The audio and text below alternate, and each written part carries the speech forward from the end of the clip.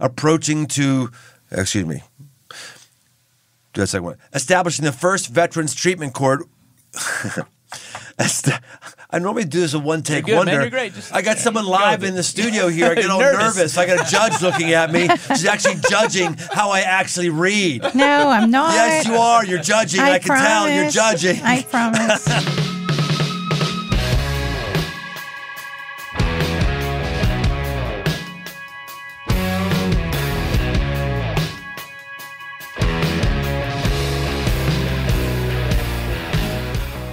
Welcome to the aggressive life. Melissa Powers. What a great name that is, Dirk. Powers. I good like for her that. role. Uh, yeah, aggressive, powerful name for Melissa Powers. She lives by a simple philosophy truth, justice, and fairness. For over 30 years, she's put that philosophy into work in the justice system, starting out as an assistant prosecuting attorney. And she has had lengthy stints in private practice as a municipal court judge and a juvenile court judge. In January this year, she was named Hamilton County's prosecuting attorney. That's the county in which the city of Cincinnati resides in. She has the highest law enforcement role in the city of Cincinnati and the first ever female to hold this post. She's an aggressive woman. Her career highlights include gaining an international acclaim after extracting a confession from a serial killer that solved a 17 year old cold case. She established the first Veterans Treatment Court, which incorporates an innovative team approach to address the unique needs of combat veterans, a program which became a model for the entire state of Ohio. She spent six years as a juvenile court judge, and the last two years as the court's administrative judge, managing 300 employees and a $35 million budget. Why? Why give your life to the justice system? She recently said, If I can make a difference, then it's my duty to serve. Well, today we're going to talk about her storied career and what she can teach us about making better decisions. Welcome to the aggressive life, Hamilton County prosecutor Melissa Powers. Uh, thank you, Brian. It's great to be here. And it's really an honor to be invited to speak during your podcast. Well, you think it's an honor. You have no idea what I'm going to ask you. You have Oh, no that's idea. true. I'm putting the judge on the seat. I'm putting you on the witness stand. I'm, I am I am going to bring the gavel down. I'm going to cross-examine you. I'm trying to think of all the legal metaphors I can possibly use. I think you hit them all. I did. Yeah. I'm going to be definitely the most annoying person you ever talked to. I am. I'm, I'm pretty committed I, to I it. Don't know if you would rank it that up there that high. I know you're you're interacting with like legitimate serial killers. That's right. I Take, did. Take us back. Tell us about what that was. What was about. Well, back in 1997, I was uh, given the task to speak to a serial killer. It was this Joseph Paul Franklin. He was a white supremacist.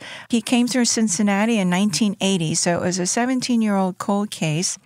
Uh, they always believed he was responsible for killing two teenagers who were 13 and 14 years old, walking with a dollar in their hand to the candy store. It was a pony keg. And uh, they were shot by a sniper position um, up on a train trestle. Um, he came through Cincinnati, uh, committed those two murders, and then left and went to um, Johnstown, Pennsylvania. And then he committed two more murders there, and that was an interracial couple. And then uh, a week later, uh, he was down in West Virginia and killed two female hitchhikers. Going forward, um, I ended up meeting with him on death row after uh, some letters and some phone conversations, developing a rapport and hopefully a trust that he would then give us a confession to the Cincinnati murders. It was really important to prosecute him to bring closure to the family so that they could have somebody found accountable and receive where they felt there was justice being served, and then that they could continue to heal. Because I think anybody that where you have an unsolved crime and you're a victim of that crime, it's very difficult to progress and get that healing that you need. And it doesn't matter if it's 17 years later uh, or you know a shorter period of time. It's really necessary for those victims to heal. So you didn't try the case. You just put a Well- thing at the end on it. Exactly. So I was called into my boss's office, which was Joe Deters at the time, and I was in the felony division at the Hamilton County Prosecutor's Office. At that point, I had won uh, six consecutive jury trials, and I thought, oh, I'm getting recognized by the boss. I'm going to be involved in trying a very important case. So I actually thought initially I was being brought into the office to be the trial attorney on this case alongside my boss, which was just such a great honor. As obviously the conversation went on, I realized I was going to be the witness in the case. Um, if he did give a confession and to make those admissions so that we could uh, close out that case and prosecute him. Um, when I met with him, I, I'm, sh- I felt like I met with somebody the devil literally was working through. Um, I have a Catholic background. I was I grew up with that, and I still practice my faith. And I remember walking out of death row after he confessed, and I met with him for four hours or so. Um, that there are angels, and there's literally there are people the devil walks through, and to me that was he was evil personified. He was You can see it by just looking at him. looking at him, talking to him, the the deadness in the eyes, the coldness in his heart. Um, I really believed it when I walked out, and I thought. Now I understand, you know that you've, I've read about it. I've, you know, in the Bible or or was has been talked about it, or even movies describe it. But I actually experienced it, and I walked out with that realization. We had uh, just a couple weeks ago. We had a Catholic priest whose official title is exorcist of the Indianapolis diocese. So I didn't know there was such a thing as, you know, hi, I'm Pastor Brian. I'm Exorcist Jim. I had no idea. A literal exorcist. It's really, uh, it's really taken off. Our, our viewership or listenership on that one, Dirk's been pretty high, hasn't really, it? really really high. Yeah, one of the highest of, of recent. Yeah, it was fascinating. He talked about. I, I listened to the, I listened to it again, and I thought, oh man, I wish I had more time. I should have asked asked this and that. He talked about being with people who are possessed and the temperature in the room changing. He talked about seeing people levitate. This is a Catholic priest. This isn't some you know Hollywood thing. Hollywood guy who's just trying to go for a wow effect. So you think this guy probably didn't change the temperature in the room, probably wasn't elevated, but you're just going, this guy was just evil. There was something beyond just a mental illness with him. Absolutely. I mean, definitely, I felt that he was evil personified. I believed the devil was literally working through him. There were things, not necessarily levitation or coldness in the room, um, and I never have explained this to many people publicly, but. Um, because I really think people will think I'm nuts. Um, but I think this is a program that maybe people could understand. Yes. There were six pendant lights in the courtroom that are hanging very long in the courtroom. Okay, so you have these long lights, and the only time they that one light would sway, and it was the light that he sat directly under at the council table, and when he left the room, that light never moved. When he was in the room, that light moved, and um, Wow. I, I've even went back many, many times to go into that courtroom to see if there's that, that light ever moves, and uh, it only moved when he was there. Wow. How close were the other lights that were around it? Oh, I don't know, four or five feet, six feet apart. The, the ceilings are really high in the courthouse, so yeah. So that was one, and there's more things, but that was. Oh, come on. Well, tell us more. You got behind the scenes things. Tell us more things. Come on. Um, Let's have some fun. And again, I don't know if it was my imagination playing with me or whatever, um, but there was a point when I spoke with him that um, he was shackled, you know, at the ankles, and then he was handcuffed with his the chain of the handcuffs through the loop of his belt at his waist. Okay, so I mean, he had very limited movement. But the one thing that he did during part of the confession was that he put his foot up against my shoe, right? So his shoes and my shoes were touching. So I let that happen because of the, my research and working with um, the FBI profilers that touch can also have him continue to speak, and I needed him to speak. So I allowed that to happen and then pull my foot away. But after the interview and after I got home, there were some things that were happening in my own personal life that I felt that now the evil is, I've looked into the eye of evil, the evil is coming Wow. and is working out through me partially. So I would have very vivid dreams, and my senses were extremely heightened. Premonition type dreams, and um, they were playing out. So one was my father in an accident. That was it was a bizarre accident, no explanation. He pulls out of our driveway and hits the telephone pole. Made no sense. Wow. Uh, my son, another one was my son was riding his bicycle uh, through Ault Park terrible accident. I saw the whole thing in a dream, um, hurt his hand, and I wasn't there uh, to be able to help. And there was a third thing. Oh, yeah. So the confession that he gave me for the murders in West Virginia were the two hitchhikers. Yeah. And there was somebody else already convicted, and the authorities in West Virginia were convinced they had the right person. But there, uh, the modus operandi in that crime, as well as others, and they could place Franklin there. They always believed it was Franklin's responsible. Franklin would never admit to it. There were many opportunities that they tried to get him to give that confession. So Franklin, I said to him in the confession, "What can you tell me that somebody that no, only the killer would know?"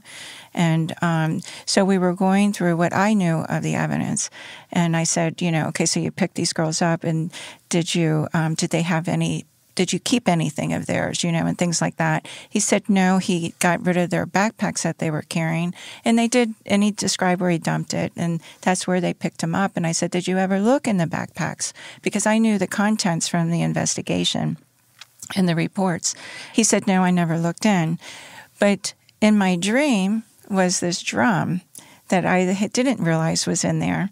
So when I called the investigators and said, "This is what he's told me," and when she, I said, "Can you describe this drum?" and it was exactly what I saw in my dream. Wow. So I realized that I needed to go speak to. I went running out of my office, went down to St. Xavier Church, and met with the priest and spoke with the priest tell him about these conf- this confession. I got a confession to six murders. I met with him on death row. You must hear terrible things too in these confessions. I need help. I need you to help me mm. process this and told him everything that I've just yeah, told you. Right. He took my hands and he held them, and um, I, I literally could see light coming down into our hands and then to our hearts he said, he goes, Melissa, you have nothing to worry about. Good always conquers evil. And so that's how I walked away, and that was the end of them, the wow. end of the dreams. Now, this, how were you chosen as the one who went and got the confession? Well, um, because I think I was a female, and he was talking to women. Aha! I know? knew it. I yeah. was gonna, I was gonna seed the witness. Those of you who do not know, I'm here with a judge. It's an attractive, uh, an attractive blonde judge. Thank you. Yes, you, thank you. I like that. yeah, I'm thinking if there was some guy wanted to get talk, I'd get him with Justice Melissa Powers. That's what I would do. So someone was thoughtful of that, using that as an edge, and get it. That's fascinating. Right. You had to use every advantage and toolbox tools that you had in order to try to uh, accomplish the goal, which was to get a confession. So I'm not offended by it. I never was offended by it. it I had a job. You didn't go in like wearing Daisy Dukes or something like that, did you? Absolutely not. Very conscious about what I had had on, no perfume, no hairspray that had any scent. I was very, very aware of what I was wearing. Why no perfume without, or Just why no hairspray without any scent? I mean, didn't what? want anything to to get this guy going in the wrong direction, right? Okay. You know, um, and then take that back to his cell after I was gone. I did uh, not have any interest in being a part of that, so I was very, very aware of what I was doing and what I had on, and obviously it wasn't. They were not Daisy Dukes. oh man, I I'm looking at you when you first came in. Uh, I've never seen. I had I just Melissa Powers great. I expected what a judge would, would be like, and and then I saw you and I thought, gosh, um, what causes? I mean, any woman really, any woman, to want to be in the in the justice arm of our of our country, specifically having the most heinous of heinous things be told you. I say, I guess that's sexist, any woman. Why? Actually, why? it's not. I mean, I thought about it as well. Um, when I was in law school, uh, my background to give you a, to show you how far away I was yeah. from where I wanted to be. When I was in high school and starting in college, I wanted to be in the fashion industry. I wanted to be a fashion designer, go to New York. So, totally different track um, than where I am today. That didn't happen. I ended up applying for law school because a friend recommended it. And then uh, when I was in law school for three years, people would ask, What kind of law you want to practice? Well, I didn't grow up with lawyers. I was never in a courtroom. I had no idea. My parents just taught us hard work. So anyway, and when I was in law school for three years, I said anything but criminal law. So that's what was my answer for three years. Um, so most of, I feel like most of where I've been in my career that has been significant, I've been dragging my feet and kicking, not going in that direction. But I really think there's a higher power that has moved me along in my life and to be able to serve and accomplish what I've accomplished to help other people. Then when I interviewed, so I went to, I did an internship my last year of law school, my third year. And I was wanting and applying for the Federated Department Store internship. I wanted to work there. And instead, I got assigned to the city prosecutor's office. So I was so devastated, so disappointed. And I did not like this idea at all. But the first day was a Saturday morning in the arraignment uh, room. And I got to see all the people that got arrested the Friday night before to get their bond set there was a fight that broke out. There was a woman telling, you know, the story about how she arrested her husband and her husband was going to go out with his friends. And it was really to keep him from going out with his friends. She had him arrested. So he spent the night in jail. And I thought, this is like the wild, wild west. Yeah. I love it. You know, you love it. I love it. And, um, and so that's how I set my career in going into the prosecutor's office. And don't get me wrong. I mean, there were times then as I was doing, uh, being in a prosecutor's office and doing cases, that it took me several years to kind of toughen myself up uh, and be hardened not to bring this home, not have to decompress, right. to get strong and get that strength that I needed. But I, I really thought that's that was good for me, you know, to, to become a stronger person and and to have more that more strength to be able to deal with these horrible situations yeah. and try to either help the community or help help people and it also and help victims. Well, you're the first female prosecuting attorney yeah. in Cincinnati history. That's pretty impressive. Well, thank you. Yeah. It's quite an honor in that regard, but it's just an honor to be the Hamilton County prosecutor. It's a job that I never dreamed of of trying to achieve. I had planned to retire. I have 31 years in, and I retired in December of 2022. Um, and then I was called to serve and um, felt it was my duty to do that. You mentioned you've got how did you put it? Harden yourself or something that tune because you're just dealing with awful difficult stuff. It's one of the questions i had for you was like in my line of work i'm a pastor by day. I um, I just hear of a lot of pain and heartache. I'm not fortunately hearing of serial killers. Unfortunately, not hearing that, but a lot of pain, a lot of heartache, a lot of cancer, a lot of divorce, a lot of abuse, a lot of lost jobs, a lot of just a lot, a lot, a lot of stuff. And uh, if my wife was hearing all this, she she owns it all. She just can't she can't get over it. I've I've learned the ability to empathize, be with it, and then I I forget about it. Yeah.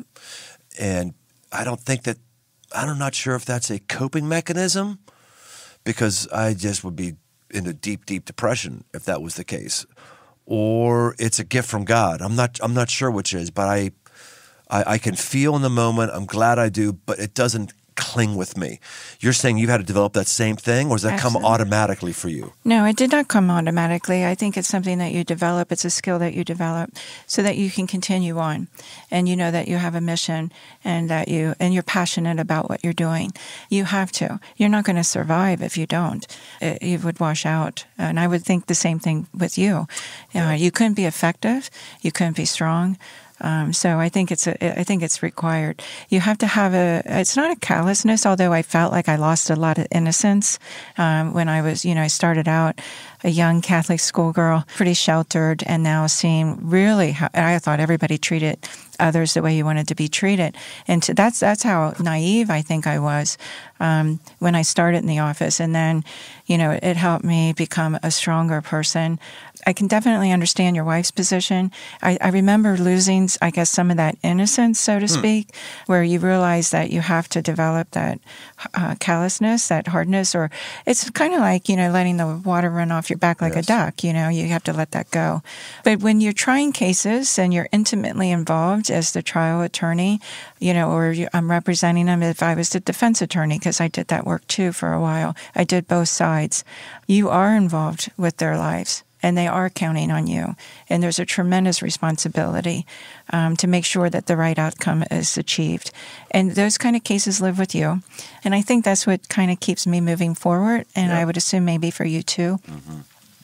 That you realize that people, you can help people redirect their lives, um, get the help they need, um, whether it's addiction, mental health, veterans, you know, working with veterans. Yeah. Do you think you're different? Like if you had gone into the uh, if you're a car salesman, if you were in marketing at a firm, and you looked at your life right now, do you think you would be different? Do you think the weight of it has brought you down? Do you feel you're more cynical than you would have been? Because you're exposed to a lot of awful stuff. Like, is it, how is the work, or do you not think it's changed you at all? No, it definitely has changed me. It, initially, it's like, what the heck is going on here? My world is completely blown up. Mm-hmm. I had no idea these things happened. I had no idea that parents would abuse a child. I had no idea that people would be so uh, mean or inconsiderate or violent towards another individual. You know, and it could be a stranger, it could be somebody that they know. I, I, I just didn't know any of those things. And again, 31 years ago, the world was different than it is even today. And today, uh, we're a lot more uh, willing to make excuses and, and to justify behavior or excuse behavior. Hmm. And um, what do you I, mean by that? Like, what are we willing to excuse today we weren't 31 years ago? I think resp- taking responsibility and being accountable for your actions is number one. Yeah. Uh, a lot of people don't take that responsibility and they don't want to be held accountable and they won't take accountability for what they do or for what they say. And I think that's number one on my list. Yeah. I, I wonder what your thought or opinion on this is on this. I've just been scratching my head over the amount of mental illness. I believe that mental illness is a real thing. I believe that there is neurochemistry that can be out of whack and cause someone to behave in ways that are very, very difficult to, to cure. And, and man, it just seems like mental illness is spreading like wildfire. And I'm just left to say, can can everything just be boiled down to somebody's responsibilities to I have a mental illness? Is it really this many people are born with neurochemistry issues? Or is it what society is doing to an increasing numbers of our people? Is it the way we're living our life just doesn't work for us mentally and it gets us into patterns? Is it, I don't know, it just seems like it just seems like it's out of control. What do you think of this as a person behind the bench who's seeing more of these situations than the average person? Do you agree, disagree? What's your thoughts on it? Well, I agree with you. And I think there's a combination of factors. And I'm not an expert on this in any way, but I can just tell you what I saw on my years on the bench, and particularly the last six years as a juvenile court judge the I'd say close to 90%, and it's probably even higher, of children that I saw had trauma. And I'm not talking about one incident of trauma, it's chronic trauma. And the younger that's happening, hmm. the more likely their brain chemistry will change and develop into bipolar, etc. And so we saw that. So I believe a root of a lot of our problems with violent crimes being committed by juveniles, and you're seeing that getting younger and younger, is the trauma. 90%. 90% wow. had trauma. And a majority of those kids, probably close to that percentage, also had some contact with Hamilton County Job and Family Services, meaning they were abused physically, emotionally, sexually, or that they were neglected, they were left and abandoned. And so we're failing these children, and they don't even have a chance to get started in life. And so it does need to be addressed. And I think when you're seeing the mental health in regards to mass shootings also. Yep. There's trauma back in the background there as well. And I don't know if that is associated also with some type of neurological brain mis- um, dysfunction, but it, definitely trauma is a root that we need to be addressing. And, and I think that has a lot to do with it. I also think not having mental health hospitals like we used to. Yeah. People are out on the streets, and um, and then they, then they're abusing drugs, which even contributes to their mental health deterioration. Is using drug use. Chronic drug use is a big problem, uh, where their brains are just definitely changed, and heroin changes the brain chemistry immediately. Uh, So these are just things that I saw as a judge. It's a big deal. Well, I wonder though, with the trauma, like, are do families in the last few decades are are we generating more trauma than we did in the 40s and 30s? It's, there, there's more of it. However, there's more of it, right? It seems like that. It's hard to know. Uh, and again, I'm not an expert in the field. Um, it would be interesting to see if somebody has got that information. Or is it just more reported more? Or are we just seeing it more? Um, I really don't know the answer to that. being I, I have some friends that are attorneys and and there's this great respect for being a judge or a justice. Being a justice. Is that just the supreme court? Is that That's frame? it. that's okay. Being a judge. And then there's also an awareness. I've heard some of my friends talk. Yeah i said yeah but if i did that i just wouldn't make the same amount of money. So i'm not really ready to go sit in the bench because i can generate more in my private practice. Yeah. That's true. You either uh, choose public service um, or have a better lifestyle, I think. Um, and for you it's truly public service that that's actually descriptive that's not just a title you're actually serving the public that's your mindset absolutely. but gosh that's refreshing Oh, thanks. That's really that's really you. refreshing. There's just not many servants out there to begin with, and yet when someone is taking a position to serve the public, well, on behalf of the nameless masses out there, thank you. You're welcome. I have this true passion to serve and to help others. And this just really, uh, again, this was not a job that I sought out. It was something that I believed a higher power was guiding me to. Yeah. And, um, and it worked out great. And I'm, I'm really thrilled to be having the opportunity to help others and really make Cincinnati or, and Hamilton County a better place to live. Well, that's why the podcast is called The Aggressive Life. It's people of all different walks of life making decisions that are cutting against the grain, making decisions that are not victim type of decisions, actually taking control of their life and doing what they want to do instead of wherever the winds of change happen to blow them. And this is a big deal, man, for you to you to choose this line of work which is difficult, being around difficult people and serving us, that's that's a form of aggression that needs to be celebrated more. Thank you. You're welcome. It's my pleasure. I wonder as you're hearing cases, you've got to. Well, if, if I was to become a judge today, immediately today, which I couldn't because I would be a bad one and I don't know much about the law, but I would think that I would have two parts of my brain that would be competing immediately. Like one, my instincts of is this person guilty or innocent? And then two, what does the law say about what evidence can be introduced, what kind of questioning can be continued, just all that stuff. All I know is what I see in the movies. That's, all, Right. that's all I know.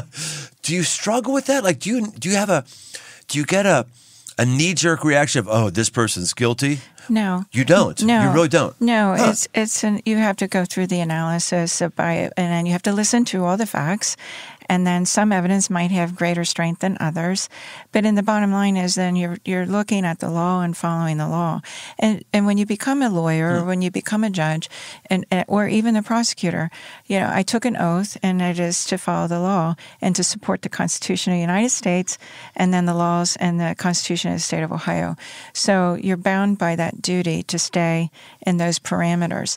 And you're not making, I mean, there's times that you're listening to cases and they're just heartbreaking and, and tragic. Um, there's some that you can get very emotional on or uh, be angry with. You know, how could this guy do this terrible thing uh, or this woman?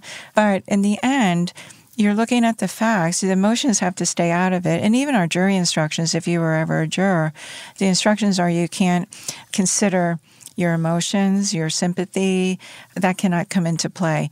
You're, you're, it's more of a uh, a business decision, so to speak. You're looking at the facts, analyzing it alongside with the law, and then you then you have it, your duty bound to follow it.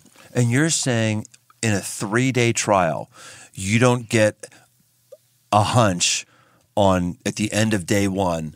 You're able to actually stay open minded till the very end. Well, we're, we're required to do that. So um, you're required. Now, would a juror do that? I don't know. I think people in general want to resolve conflict fast right? They don't like it. Mm. so they want to be able to say yes or no, mm. you know. But you're constantly reminding, as a judge to a jury, you remind them not to form any opinions, not to discuss the facts with anybody. You know, they have to keep their mind open. So you're constantly reminding them. As a judge, you know that because you're in the courtroom a lot. I've got a lot of experience, so you should know that. Um, but you never reach a conclusion after the first witness. I mean, everything can change. There's got to be an open mind. I'm bound by the law to do that, and any judge would be. When you say, I have to do the right thing, that includes staying open minded and being able to receive all the evidence. Right, and and you're neutral. You know, you you are staying neutral. You're not taking one side or the other. Gosh. You got to stay neutral. And then now you've got, and then that actually applies to how I make decisions too. Even in my everyday life, you want to make sure if they're big decisions, you want to get all the facts that you can and the information, and then make a reasoned decision based on that information. So it's very similar. I think about what our whole culture would be like if we could learn that skill of open minded, Yeah. wait for evidence, don't jump immediate to conclusions. It just seems like everybody is so on edge and everybody has their opinions that they're only looking for evidence to support, and we're not opening up to listen to anybody else. I would agree with you. And I think the biggest fault that I see um, with those that don't have that open mind is that they're trying to fit facts into a narrative uh, or an agenda or a political belief. And that's where you find the most trouble. Look at the facts and then just use your common sense and reason to be able to draw your own conclusions. And, and then if you're getting it off the TV, which I see so much of as well, is that you know, it's don't believe what they're telling you. You know, do your own investigation, look into it. And I don't mean go off in the deep end into some conspiracy theory, but maybe what they're getting is not necessarily what they're telling you isn't actually everything, or it might not be accurate. Um, so let's, you know, don't draw a conclusion even then. Make sure you get it, because often the media gets the stories wrong. But the main beef I have, I think, the most of, is that people don't look at the facts, which the facts are going to be the truth, most likely, Well, we unless can't somebody even- unless somebody's manipulating those facts. Well, well, well, that's a problem. We can't even agree on what the facts are. Right. You say uh, do the research. What that means is everybody on the left just listens to CNN. Everybody on the right just listens to Fox News. I've done the research. I got the data. Like, Well, I wouldn't use that as my source of information if you're if you're making a big decision. Yeah. Um, again, I mean, some of that, most of that's entertainment. So, and you want to pass time and, and use that for entertainment, but. Uh, unfortunately, even in our the journalists that do uh, in papers don't even they'll put a very emotional headline, uh, and then when you read through the body of it, it, it, it has nothing to do with the headline um, or very little, but it's how many people click, and that's how they're judging their performance and their success and being able to get advertising. So maybe I am a little bit cynical. I love your line about most of us just want to resolve conflict fast. And there's got to be that conflict in the in the courtroom. I I agree with you, and I think most of us are resolving conflict by just checking out, just not even having the having the conflict, not even having the having the conversation. As you talk about this stuff, it makes me think about how well rounded you have to be as a human being, as a mature adult. You got to have a, you got to be, be a pretty great friend to have. Do you have close friendships? I do. I have lifelong friends, and my friendships are really what my life is all about and family. So, Gosh, yeah, having a friend who isn't isn't afraid of conflict, having a friend that isn't going to immediately judge me, that's going to take time to decide something, having a friend that wears Daisy Dukes. I mean, all those all those I things. think that's the theme of this whole podcast. It's the Daisy Duke show. I don't know. I don't know why. I don't know why I did. I just I'm having fun. I, one of- one of my one of my spiritual gifts is I'm annoying. That's one of Uh, my well, I wouldn't call it annoying, but um, tenacity. Tenacity. Today's podcast is brought to you by Athletic Greens. It's a product I use every day. I started taking AG1 because I don't watch my diet too closely, but I know that I'm getting all the vitamins, minerals, and nutrients I can, as well as hydrating with 12 ounces of water right off the bat at the beginning of the day. One scoop of AG1 has got 75 high quality vitamins, minerals, whole food source superfoods, probiotics, and adaptogens. And it doesn't taste like it. It actually tastes great. AG1 is a micro habit with big benefits. For less than $3 a day, you can take care of your health and invest in your future. It's recommended by professional athletes, health experts, and me. to make it easy, Athletic Greens is going to give you a free one year supply of immune supporting vitamin D and five free travel packets with your first purchase. All you have to do is visit athleticgreens.com slash aggressive life. Again, that's athleticgreens.com slash aggressive life to take ownership over your health and pick up the ultimate daily nutrition insurance. So go get you some and let's get back to the show. Melissa, Justice Melissa, Judge Melissa, we want to uh, Prosecutor Melissa. Prosecutor Melissa, I'm sorry, all of the above, not Justice Melissa yet. Though you should be on the Supreme Court. I'll just say right now, you should be on the Supreme Court. There is an American alive after hearing you wouldn't say that's the kind of person sh- who should be a justice someday. But Prosecutor Melissa, I want to take you through the lightning round. Very few people can actually do the lightning round. Very few people have the mental fortitude to be able to answer a question quickly and succinctly, like a flash of lightning. Are you up for the lightning round? I'll accept the challenge. All right, here we go. Hardest case you've been a part of? Uh, I was a prosecutor. A ten-year-old boy, which was about the age of my son, was um, shoplifting in Corryville and I was a juvenile court prosecutor. And he stole a, a pair of socks, a notebook, and a can of SpaghettiOs. And uh, when I asked him why he did that, he said he was hungry. He needed the socks and the notebook for school. When you get arrested, they, they take you back home to your parent, right?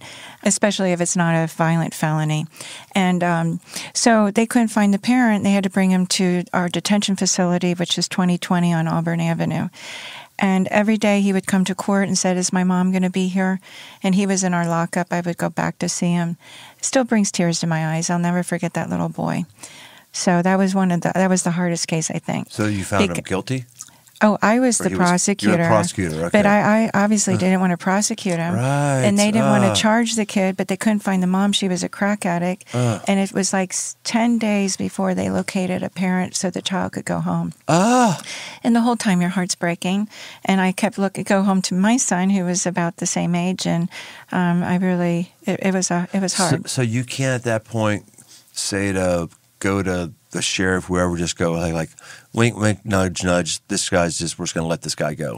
Well, um, they couldn't. They couldn't. They couldn't find anyone to release him to. Oh, that was the problem. So that's why he was in the detention. So he had no business being locked up. And then how scared a ten-year-old. And every day uh, when I would go back to see him, he goes, "Is my mom here today?" Because he knew if his mother showed up in court, he could go home. Ah. So that had to be the hardest case that I did, and I'll never forget it. And uh, it still brings tears to my eyes. Wow. Moment from your career you're most proud of. That's a tough one. Um, I, I'm very proud of my career path and very proud of my accomplishments. But uh, which one is the most important and which one's the stands out the most? I, I can't identify it yet. Yeah. Um, so maybe it's still to come. I like it. Best advice you've ever gotten. The best advice I've ever gotten is to never give up. That was one of my father. It's like, you know, you get knocked down, you get back up. Um, somebody hurts you, you get back in there. Just don't give up. Don't give up. And you're going to fa- face many obstacles in life and just never give up. So just keep out there working. And what you do to unwind. Um, I do a number of things. I don't get to do it as much as I'd like because now I just go on the couch at the end of the day because these are long, exhausting days. Right. And just decompress there. But um, I love reading. I love um, painting. I'm an artist. Uh, so I love oil painting. Oh, I don't cool. do as much cooking as I used to do, but I love that. Um, I've got a lot of interest from gardening to walking uh, to traveling, you know, by s- just get on a bike and ride. There's lots of things. Melissa, is there anything that you want to talk about that we haven't talked about? Um, yes, um, the Veterans Treatment Court. So um, I was when I was in municipal court, I was seeing the soldiers return from war, and they were coming in front of me with DUIs. They were self-medicating. I could see that, and I could tell that the trauma. They had that thousand-yard stare that people talk about, or shell shock. You've heard those kind of mm-hmm. phrases being used by the older veterans. PTSD wasn't, you know, talked about that much, and it had quite a bit of a stigma to it. One in particular, young man, um, he was a high school graduate from Indian Hill. He was uh, wounded, so he had a Purple Heart. And he came in front of me with a DUI, and I said, "What? What are you doing? What help are you getting?" And I'm not doing anything, ma'am. And I said, "I'd like for you to go up to the VA." And he says, okay, ma'am, yes, ma'am. And so he put him on probation. He did the normal sentence that a DUI uh, would receive as their first. And within a month, he was back, another DUI. And so I asked him again if he went up to the VA, and he said, no, ma'am. And I said, why aren't you going to the VA? So much trauma. He could not get himself to the VA. It was as if he was paralyzed and, um, you know, could not function. And he wasn't working. Um, there was a lot, you know, he was just cocooning, I guess is the best way to describe it, internally and just using alcohol to go through the wounds of war, and um, which were the silent wounds of war. I mean, he was getting his medical treatment, but it was really what was happening up there. So out of that, I started doing a lot of research, and I found in Buffalo there was a program, a Veterans Treatment Court. And then I talked to the judge up there, and we started one here. So I brought basically the VA to the courthouse. Um, and we brought in all the community partners from the DAV and UC Hospital because of their trauma treatment that they were working with. And we have some of the best skilled people.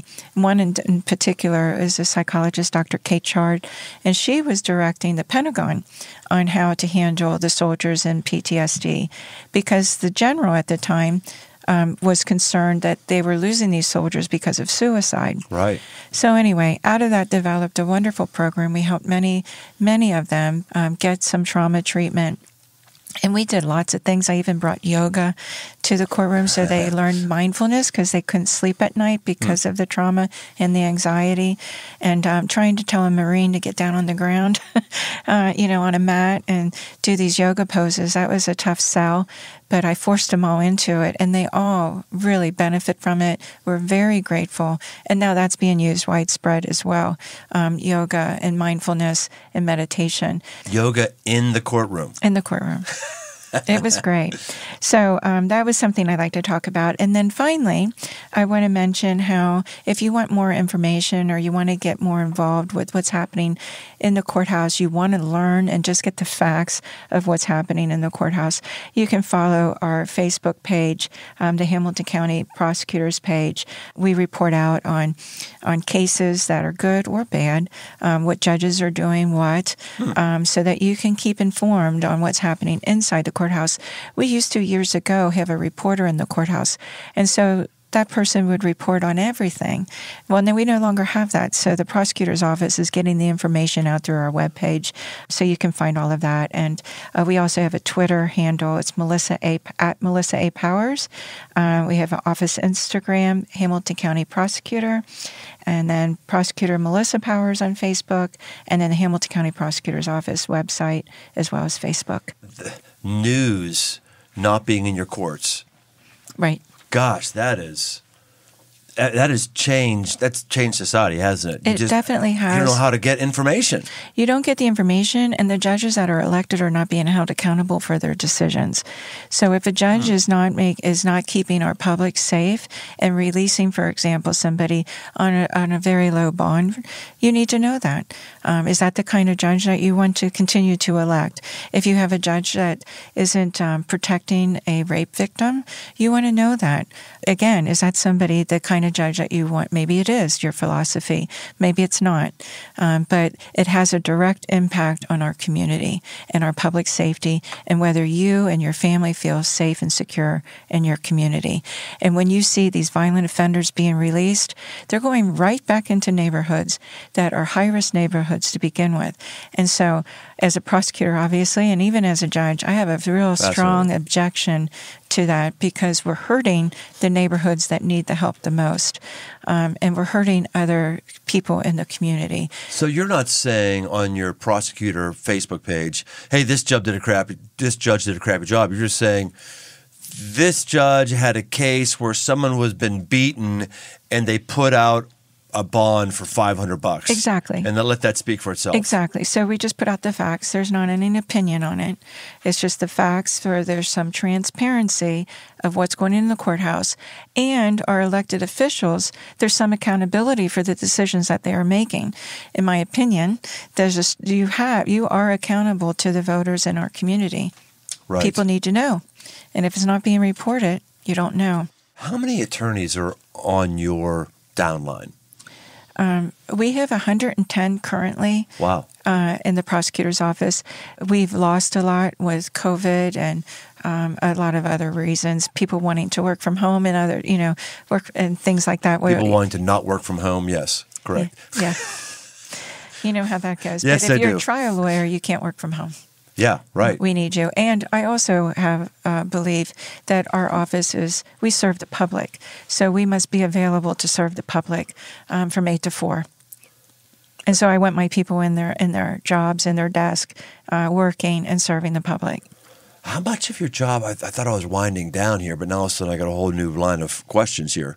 Oh, am I wearing you out? No, you're not wearing me out. No, you're not wearing me out. I just thought of a whole new vein of interest for me. I, I've, I've been th- treating you and thinking of you as a uh, justice official, which is true and right.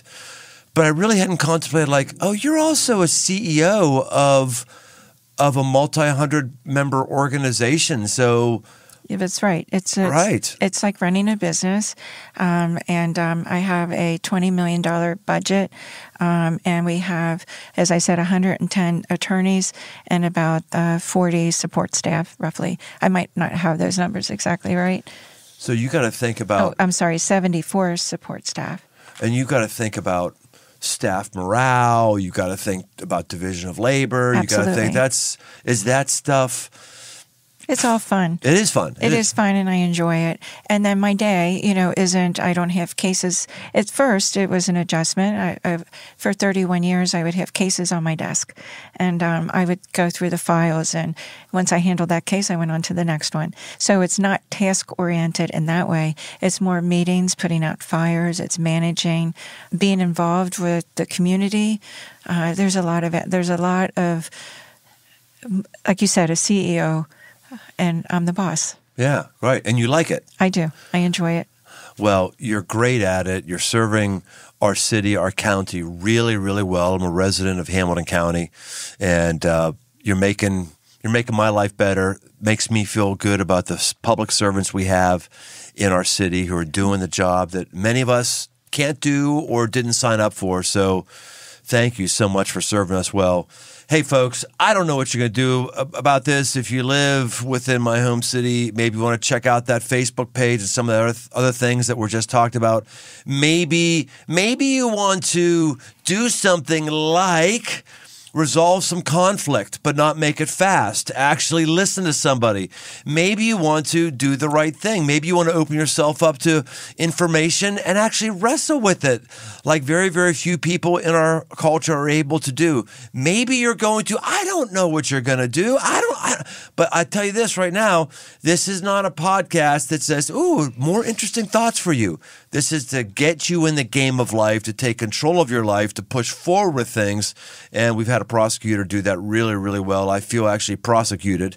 I feel I feel a bit challenged here. I'm like, oh man, I just want to make snap judgments. I'm probably gonna have to make fewer snap judgments. Although Dirk, you're still dirty. I could still make that snap judgment any day. Still true. Yeah, I'm looking at your toes right now. You're like, yeah, you're very dirty. very dirty. Melissa noticed that immediately when she came in here. She was Gross, whispering to you. She said, I would not allow him in my courtroom. How do you allow him in your offices? I know, I know I probably need to make less judgments, but I am um, I'm encouraged and I'm pushed today. So hey friends, thanks for being with us. Anything else you want to say? Final word? Uh, thank you so much for allowing me to be here, and um, and and I enjoyed meeting you in Dirk. There you go. We'll see you next time on The Aggressive Life. Thank you. Hey, thanks for listening. For all things aggressive living, why don't you head over to briantome.com. Find my new book, Move, a guide to get up and go forward, as well as articles and much, much more. And no matter where you listen to podcasts, why don't you take a second and leave us a rating? Leave us a review. It really, really helps us drive new listeners to the show. We want to help as many people as possible, just like we may have helped you. We want to help others. So why don't you help us out? And if you want to connect, find me on Instagram at Brian Tome. The Aggressive Life with Brian Tome is a production of Crossroads Church, Cincinnati, Ohio.